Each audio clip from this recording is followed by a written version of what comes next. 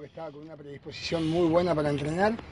Y bueno, generalmente hemos tratado de, de ejercer, bueno, un poco veloz el entrenamiento en cuanto a lo que queremos para la idea futbolística, pero la verdad que los jugadores responden, los veo muy bien, desde lo físico también, así que nada, hemos tenido muchísimo tiempo para trabajar.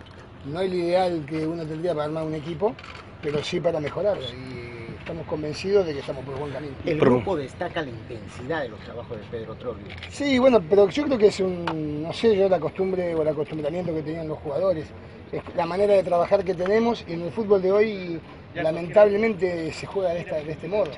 Vos fijate que el fútbol ha dejado de ser un fútbol lento para pasar a ser un fútbol intenso, veloz y tratar de mejorar la técnica en velocidad.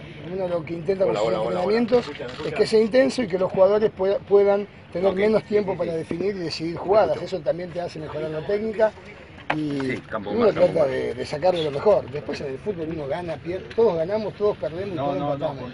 Pero la verdad que encontraron una recepción bárbara, un mixto bárbaro entre jugadores grandes y jugadores jóvenes. Y bueno, tengo, como les dije a los jugadores, tengo una ilusión a corto plazo, que es ganar el clásico y acomodarnos en, la, en salir de la posición que estamos.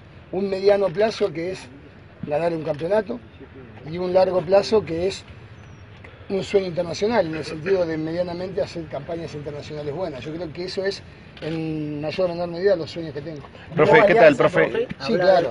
Sí, bueno, Alianza vi lo que ya había visto de cuatro partidos anteriores y el partido de ayer lo vi mejor en el primer tiempo.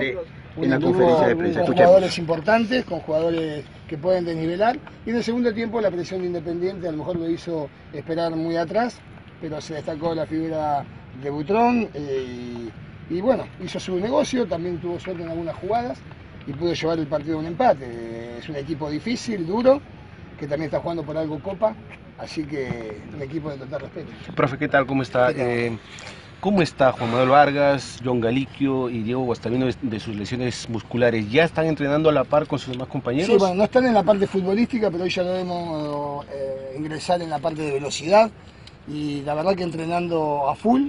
Eh, Juan también poniéndole muchísimas ganas, poniéndose a tono, que es lo que todos estábamos buscando, y con la intención de, de recuperar al gran jugador que, que, siempre fue. Así que creo que ese jugador es capaz de hacer una diferencia importante en este fútbol y apostamos a eso. En estos primeros días, ¿cuál es el, el concepto que, que, ha ganado de Juan Manuel Vargas? Ya, yo, si ya teniéndolo más días, eh, conviviendo con él. A ver, si yo tengo que hablar por